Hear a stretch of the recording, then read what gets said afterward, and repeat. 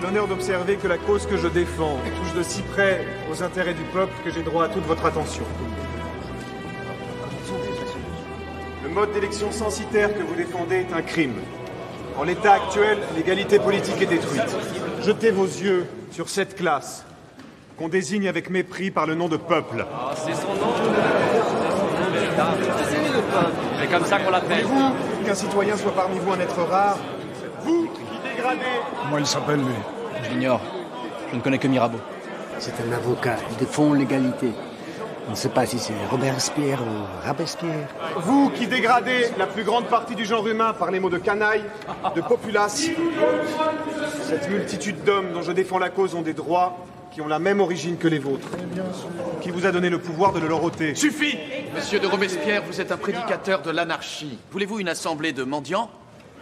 D'orphelins. Taisez-vous. De traite Silence dans les tribunes. Silence, les tribunes.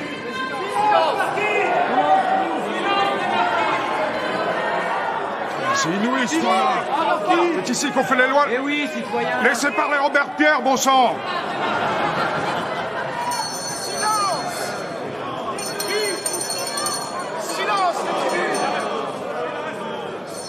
Il n'y a pas deux manières d'être libre.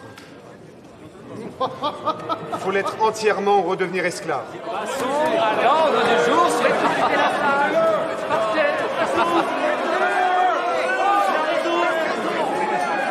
Vous pouvez donner des lois aux citoyens, mais vous ne pouvez pas les anéantir. Vous vous égarez, comme d'habitude. Sage décision Retournez à Arras, Il n'y a pas de manière d'être libre. Il n'y en a qu'une. La nôtre. Mon ami, j'attends avec inquiétude des nouvelles de votre santé. Nous touchons ici aux plus grands événements. L'Assemblée a hier absous Lafayette.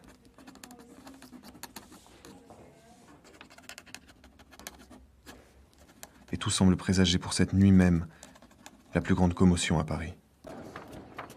Jamais la cour, ni ses serviteurs, ne vous trahiront dans le sens grossier et vulgaire. Ils vous tromperont Ou contre un homme. Mais une mesure de salut public à prendre. Un acte de providence nationale à exercer. Le procès du tyran. C'est l'insurrection. Son jugement, c'est la chute de sa puissance. Sa peine, celle qu'exige la liberté du peuple. Qu'il tue les rois, mais qu'il ne s'érige pas en roi lui-même. Silence Les amis de Brissot Les peuples ne jugent pas comme les cours judiciaires. Ils ne rendent point de sentence.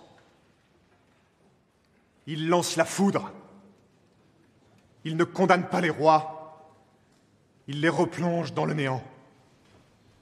Pour moi, vous le savez, j'aborde la peine de mort prodiguée par vos lois.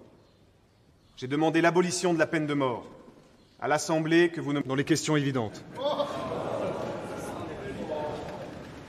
Ils sont d'un sinistre présage pour la liberté. Je vote pour la mort.